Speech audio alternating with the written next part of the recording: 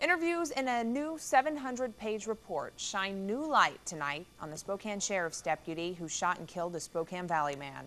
Deputy Brian Hirzel shot plant farmer owner Scott Creach last month during a confrontation in the plant farm parking lot. KXLY 4's Tori Brunetti pored over the pages in that report and has new details in the investigation. Our primary concern in this was, again, I know you can hear me say this several times, was to do a thorough, competent, fair, complete investigation. And so that was the, the overriding concern. A thorough investigation done on what started out as an ordinary Wednesday night. For Brian Hirzel, his shift started like any other around 5:30. As Hirzel was starting his shift, Pastor Scott Creach was eating dinner and getting ready to go to church. About six hours later, after what had been an uneventful Wednesday night, those ordinary evenings collided.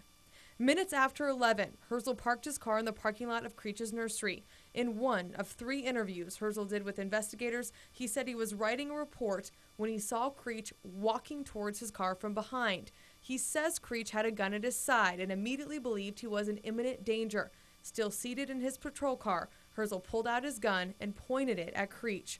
Hirzel told police investigators he told Creach in an assertive voice five or six times to drop the gun. Creach responded by saying, I don't have to because he's had things stolen. Seconds later, Creach started to back up, putting the gun in his waistband. Hirzel got out of the car, and that is when he says he struck Creach in the leg with his baton. A large part of the investigation focused on whether or not Hirzel even hit Creach with the baton like he says he did. There is no forensic evidence of the baton strike on the baton or on Creach's body. Investigators repeatedly asked Hirzel why he waited so long to call for backup.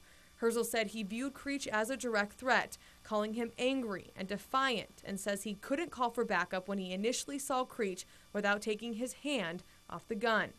We also learned Hirzel was not driving his normal vehicle that night. His car smelled horribly at the beginning of his shift, so he switched to another car. He also told police he did not know how to use the CPR mask in that car, so no aid was administered until medics arrived on scene.